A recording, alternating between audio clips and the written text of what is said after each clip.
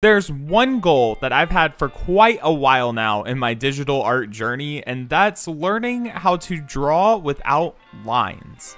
Uh, that didn't sound right. Painting. I'm talking about digital painting. I have been absolutely amazed by the people who are able to have such a painterly style, and it's time for me to face my art responsibilities, as Sam Does Arts would say, and learn how to do it myself. And with that, I went back down the YouTube rabbit hole. I watched pretty much any kind of speed paint or tutorial that I could find with the kind of style that I wanted. It it basically was just Sam Arts videos, I'm not gonna lie. And then I just binged them until eventually I realized, hey, um, maybe if I picked up the pencil, brush, stylus, uh, whatever. If I tried to actually paint something, it might help a little bit. So that's what I did. I figured that it'd be best to start off with something easy a ball, the classic. But being the channel that I am, I decided I'd start with a cute little Pokeball. And that made me realize that I have a lot of work in front of me before I get to the art goals that I truly want for myself.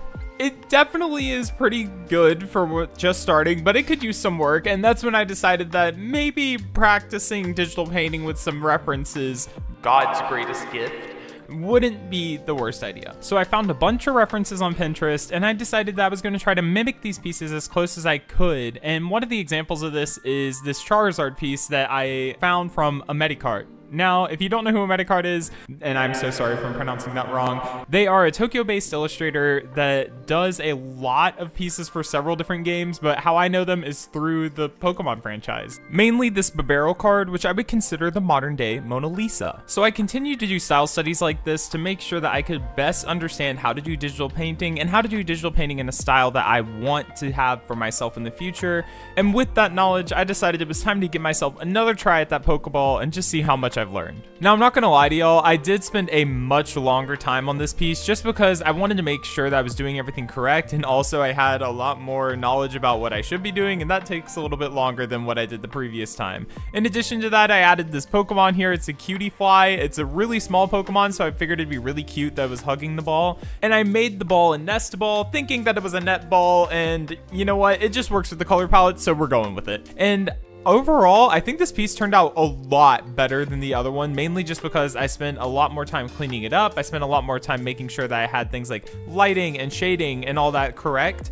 And it's something that I'm very, very proud of just to see how far that I've gone with all these little edits and things and going from my original Pokeball to something that I truly looked at and was just like, wow, I did not know that I could draw anything like that. That being said, there is still room to grow and it honestly felt good to be able to point out, okay, this is what I can work on and this is what I can continue to do to learn. Mainly in this piece, it's the environment. I didn't really make any background for this piece. I did attempt, but since I had already made the original thing, it was kind of difficult to do. So for the next piece that I wanted to work on. I wanted to do some more style studies about environments and then bring that in. So after posting this image on my Patreon where everyone can see my stuff early for $3, I went back to the Pinterest board and all through social media to get some better examples of the kinds of environments that I wanted and just build up that mental library of art that I want to use for a later date. And then after all of that, I got started on my third and final piece. So I started this piece with a thumbnail just so I'd have a basic idea of what I wanted to do, and then I began working on the actual environmental layout. So I started by blocking out this wall here, and then I added the forest in the background, which honestly I think I did really well. I just kind of blocked out the colors and stuff, and then used a blur effect so that the wall and the Pokemon would really pop out in the foreground. And then after that, I began working on this wall. And this wall gave me so much trouble. I don't know what was going on with me, but it was such a pain to try to figure out the kind of texturing and stuff that I wanted to make sure that this looked like a genuine wall that the Pokemon would be sitting on. And thankfully, I actually found this image from Sam Does Arts that really gave me a little bit of guidance as to what kind of texturing this wall would have and what kind of feel it would have in order to make it look more realistic while still stylized.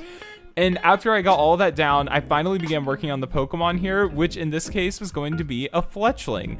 Now, this Fletchling is honestly so cute, and on top of that, it works incredibly well with this piece because it's the orange contrasting all the blues and greens in this piece, and just makes it look a lot more pronounced. You know, like complementary colors, all that stuff.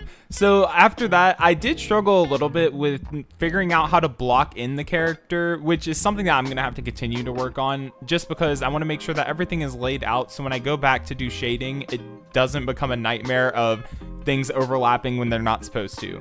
But once I did all of that and got the blocking down, I was able to do all this lovely shading and I was pretty much done with this piece.